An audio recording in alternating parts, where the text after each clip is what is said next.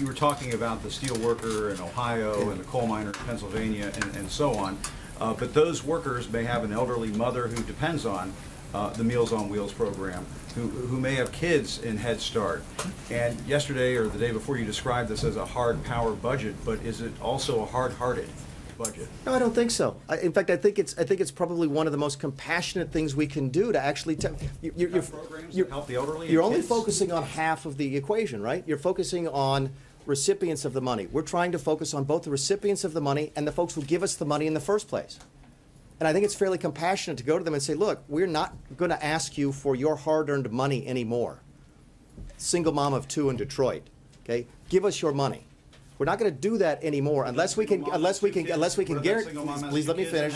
Please let me finish. Unless we can guarantee to you that that money is actually be used in a proper function. And I think that is about as compassionate as you can get.